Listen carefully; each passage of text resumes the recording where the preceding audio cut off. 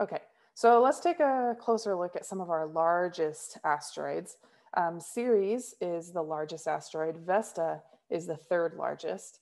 And you can see that these are, uh, well, Ceres is completely round. So it has enough uh, mass to have pulled it itself into a round shape.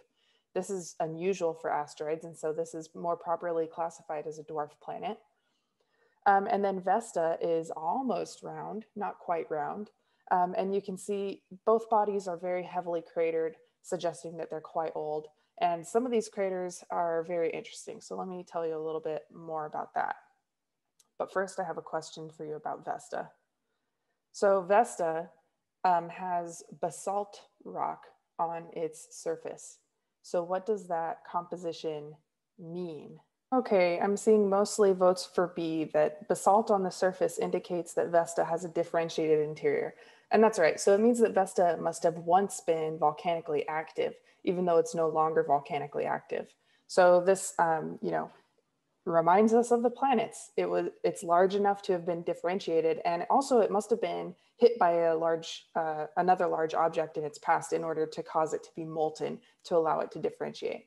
So very interesting um, differentiated asteroid. And uh, this differentiation suggests that, you know, the composition of asteroids might not be perfectly uniform throughout their bodies, right? When we look at differentiated planets, we notice that they tend to have rocky crusts and metallic cores. And so uh, it seems that Vesta has those features as well.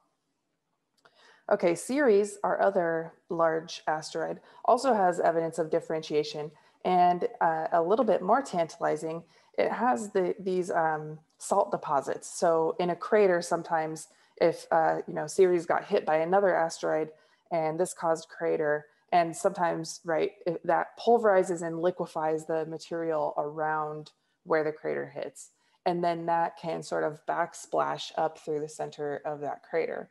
And what we see here is a salt deposit, suggesting that some of the material that sort of backsplashed was salty water. So there is some, um, you know, thought that perhaps Ceres still has significant amount, amounts of water locked under its crust. It also has other evidence of past geological activity, such as this um, four kilometer tall ice volcano. So Ceres was also once geologically active, and because it's very small, it's probably cooled to the level that it, it's no longer active, just like Mars. Okay, so those are the two um, interesting differentiated asteroids. Uh, and when we look at classifying asteroids, we classify them by their materials. So those two, Ceres and Vesta, I think Ceres is considered an S-class asteroid. Vesta is considered in its own class. So these types that I'm about to tell you are a little bit simplified.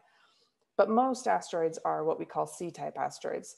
They're made out of kind of carbonaceous material, so carbon containing uh, minerals.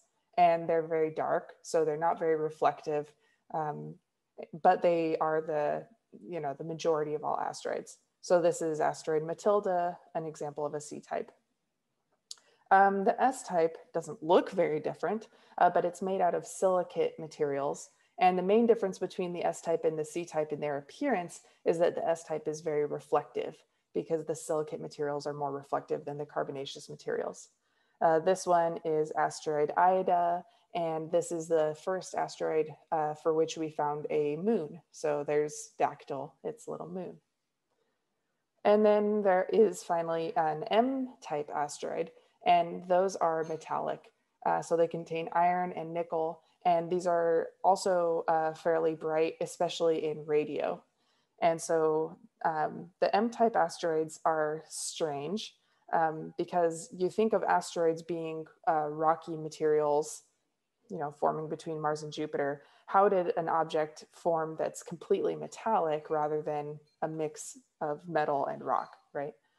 It turns out that those M-type materials are uh, from differentiated asteroids. So these M-type asteroids come from uh, differentiated asteroids, which have been um, you know, collided with and torn apart. Uh, okay, so this graph also tells us some other information about the SC and M-type asteroids. Primarily that this is, you know, the percentage of total asteroids that we're looking at according to their distance from the sun. And so the C type, we can see, first of all, they're the most common type of asteroid, but also those have formed a little bit farther from the sun. The S type formed closer to the sun and they're a little bit less numerous. And the M type are um, quite a bit less numerous because they're the results of collision products. So there's, you know, some quite a bit of circumstance that has to happen, just the right sequence of events to produce an M type.